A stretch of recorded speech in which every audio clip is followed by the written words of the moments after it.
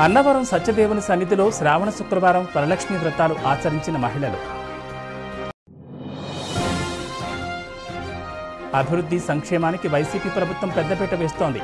కరప మండలంలో పలు అభివృద్ధి కార్యక్రమాల్లో పాల్గొన్న కాకినాడ రూరల్ ఎమ్మెల్యే కన్నబాబు.